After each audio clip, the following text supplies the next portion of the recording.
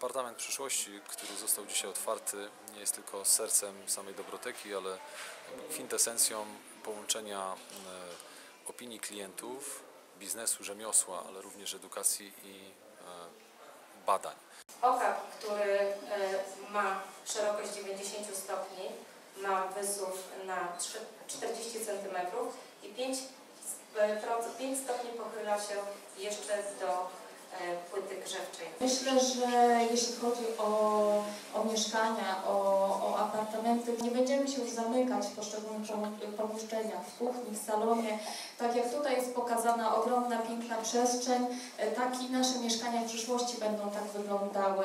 Mogę powiedzieć, że kuchnia jest tak naprawdę e, sercem domu, gdzie w tej chwili już e, domownicy lubią przebywać, gdzie tak naprawdę bardzo często też e, podejmujemy gości.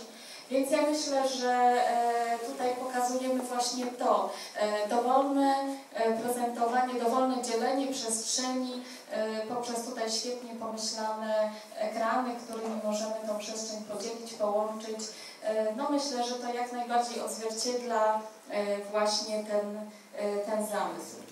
to tutaj a, w końcu przestajemy mówić tylko o promocjach cenowych, a zaczynamy pokazywać, jak wygląda proces tworzenia mebli, jak wygląda proces, a, w którym e, zapraszamy e, klientów do tego, żeby powiedzieli, jak oni by chcieli, żeby ich meble wyglądały za kilka dni, miesięcy czy lat.